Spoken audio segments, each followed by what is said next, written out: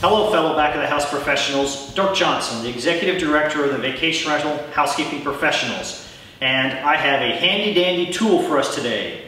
It's called an air shim.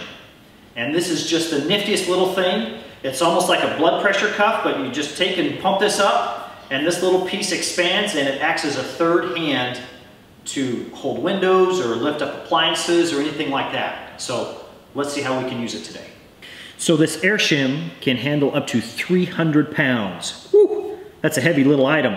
So what I've done is I've set it underneath this washing machine and then I can just take and pump it up a little bit and then that acts as my third hand and then I can get it to where I'm ready and then I can grab my handy dandy pair of channel locks and reach under here and adjust the foot as needed and then when I'm done I can simply just push this little button and down we go and I'm on to my next job. Thank you for watching.